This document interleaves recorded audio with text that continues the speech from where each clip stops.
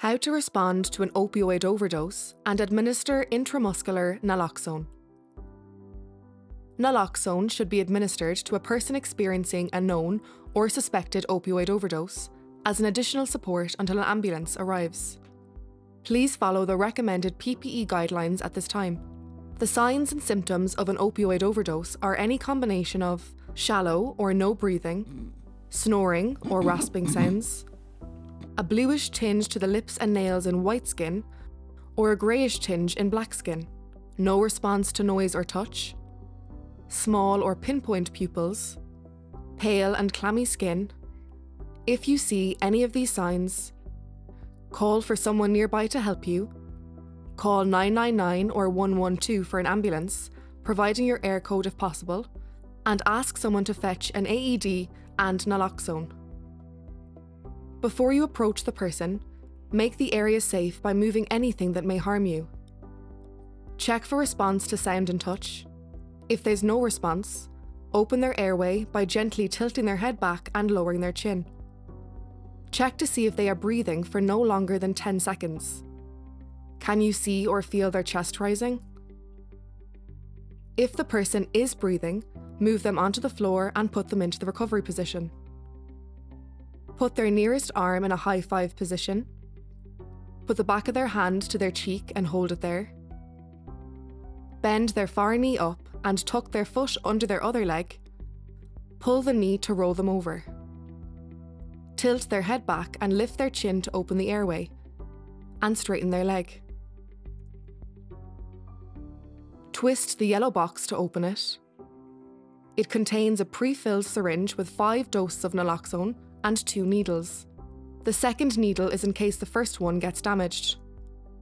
Remove the needle from the packet, leaving the protective cover on. Unscrew the grey plastic top. Screw the needle into the syringe. Hold the syringe with your hands together and remove the sheath covering the needle. Each pack is for single, individual use only. Holding it like a pen, inject through clothing into the middle third of the outer thigh, avoiding seams and pockets. Make sure you can see the line showing the doses. Press down to the next black line to inject one dose. Take it out and place it in the yellow box. Keep it nearby in case you need to administer further doses. Do not replace the protective sheath on the needle.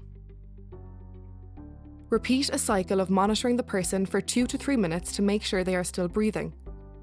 Then give a further dose of naloxone if required until the person is responsive or the ambulance arrives. If the person stops breathing normally, start chest compressions. If the person is not breathing normally, move them onto the floor. You need a flat, hard surface to start chest compressions. Place the heel of your hand on the centre of their chest, interlock your fingers, and with your arm straight, press down on the centre of the breastbone, 5 to 6 centimetres. Repeat this 30 times, then administer naloxone. Repeat a cycle of 100 chest compressions, then a further dose of naloxone until the person is responsive or the ambulance arrives. If the person starts to breathe normally again, put them into the recovery position. Remember, check the area and make it safe for you. Call for someone to help you. Check for observable signs of overdose. Call 999 or 112. If they are breathing, put them in the recovery position and if not, start chest compressions, administer naloxone, and wait with them until the ambulance arrives. Recognising an opioid overdose and administering naloxone can save lives.